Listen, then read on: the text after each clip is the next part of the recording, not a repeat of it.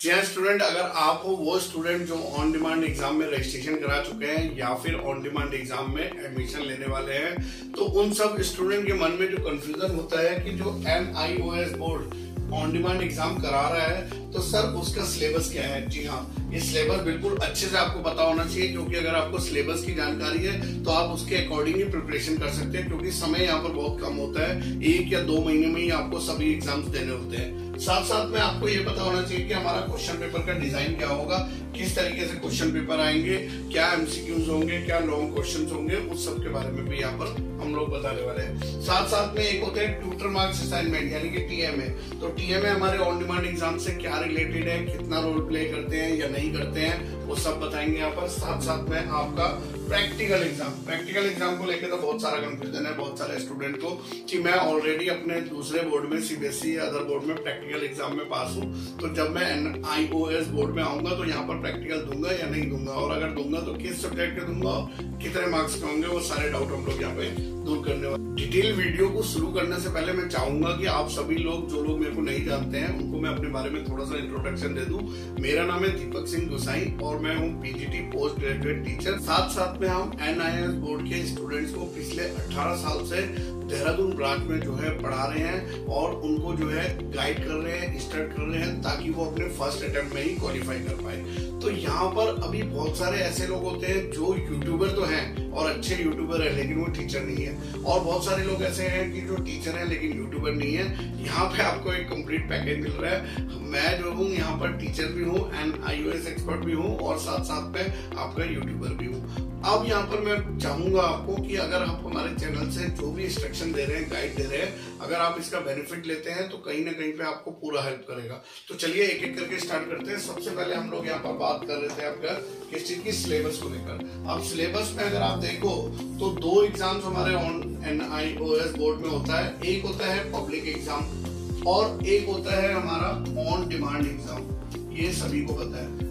अब यहाँ पर क्या है कि जब आप देखोगे तो एन बोर्ड की वेबसाइट पर जो भी सिलेबस जो रिलीज़ हुआ है, वो सिर्फ़ पब्लिक एग्ज़ाम का ही है।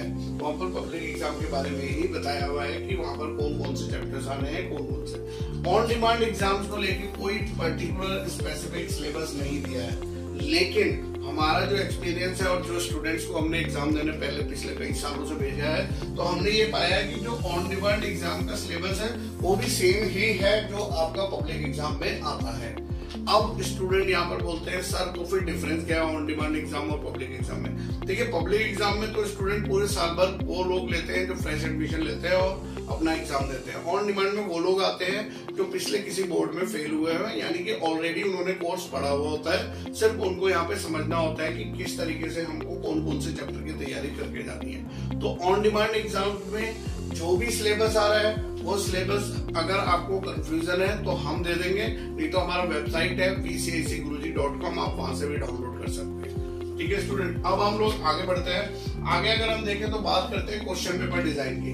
कि हमारा जो क्वेश्चन पेपर होगा, वो किस तरीके से डिज़ाइन होगा। तो अगर हम क्वेश्चन पेपर की बात करें तो यहाँ पर भी आपको एमसीक्यूज क्वेश्चन आते हैं, यानी कि वन मार्क्स क्वेश्चन होते हैं। ठीक है? फिर आपके जो है टू मार्क्स क्वेश्चन भी यहाँ पर मिलेंगे फोर मार्क्स क्वेश्चन भी मिलेंगे और सिक्स मार्क्स क्वेश्चन भी मिलेंगे। यानी कि आपका जो है, हम बोलते हैं इनको very short answer type question फिर आपका शॉर्ट आंसर और फिर आपका जो है लॉन्ग आंसर ये आपको क्वेश्चन पेपर डिज़ाइन में मिलेंगे।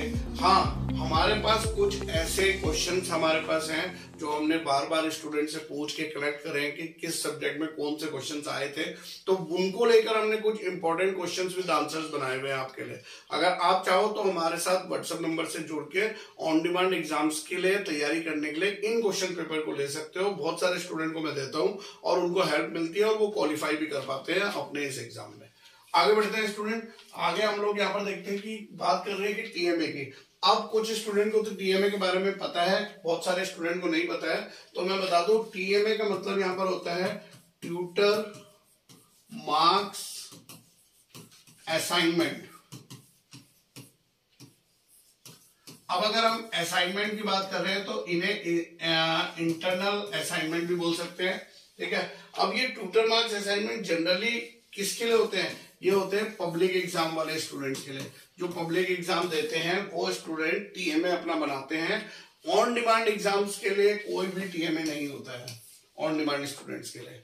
लेकिन मैं क्यों आपको टीएमए के बारे में बता रहा हूँ? क्योंकि यहाँ पर क्या है, जब हम लोग पब्लिक एग्ज़ाम पढ़ने जाते हैं तो वहाँ पे कुछ चैप्टर्स होते हैं जो टीएमए के अंडर में आते हैं, कुछ चैप्टर होते हैं जो पब्लिक एग्ज़ाम के अंडर में आते हैं। तो मोस्टली जो क्वेश्चन पेपर डिज़ाइन होता है, वो पब्लिक एग्ज़ाम के बेसिस पे होता है। टीएमए से कोई भी क्वेश्चन नहीं पूछे जाते हैं। लेकिन बहुत सारे लोगों से जब हम पूछते हैं कि सर ऑन डिमांड एग्ज़ाम में टीएमए के चैप्टर आएँगे तो बोलते हैं हाँ आएँगे। लेकिन ये देखा गया है बहुत सारे क्वेश्चन पेपर में कि टीएमए से जो पब्लिक एग्ज़ाम के टीएमए के चैप्टर है ऑन डिमांड एग्ज़ाम में भी उनसे कोई क्वेश्चन नहीं पूछे गए हैं। और कोई कोई अगर एक आध सब्जेक्ट है जिसमें थोड़ा बहुत अगर आ गया और टीएमए का तो वो बात अलग है। लेकिन उसमें भी आप एक काम कर सकते हैं, आप जो पब्लिक एग्ज़ाम्स का जो चैप्टर्स हैं। पहले आप उनकी तैयारी कर लीजिए। अगर आपके पास कुछ समय बचता है, तब आप टीएमए वाले चैप्टर्स को देख के जाइए। अदरवाइज़ मैं बता रहा हूँ आपको आप सिर्फ़ पब्लिक एग्ज़ाम वाले, जो थ्योरी में एग्ज़ाम में आने वाले चैप्टर्स हैं, सिर्फ़ उनकी तैयारी करिएगा। कंफ्यूजन अगर आपको है तो हमारे व्हाट्सएप से जुड़िएगा।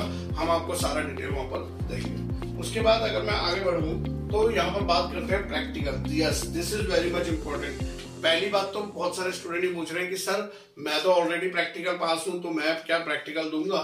तो देखिए, आपको, अगर आपको पता है कि आपने यहाँ पर, मान लीजिए कोई इंग्लिश और आपने जो है फिजिक्स ये दोनों सब्जेक्ट अपना जो है आपने टीओसी कराया है।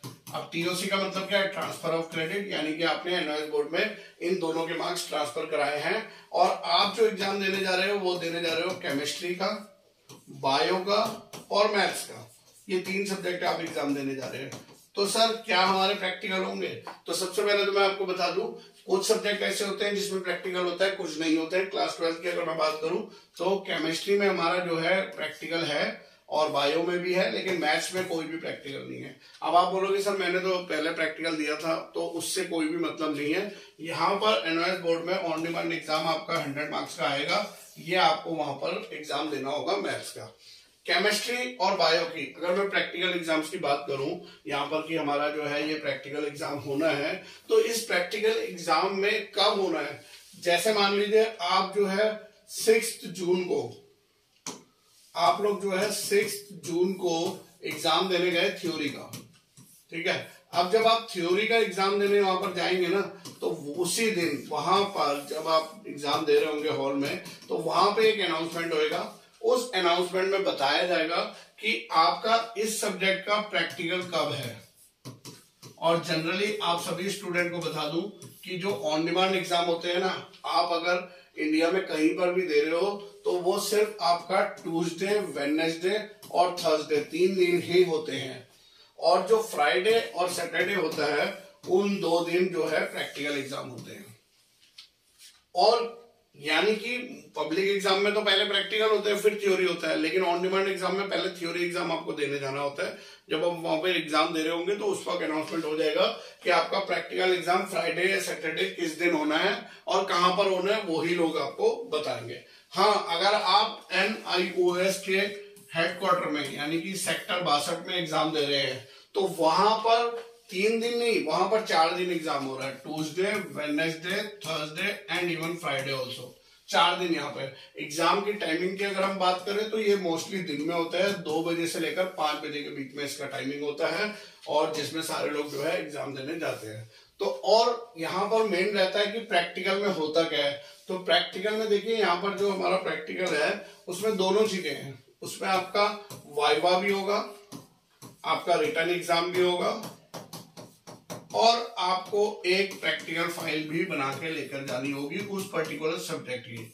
प्रैक्टिकल फ़ाइल, वो आपको घर से ही प्रिपेयर करके जानी होगी।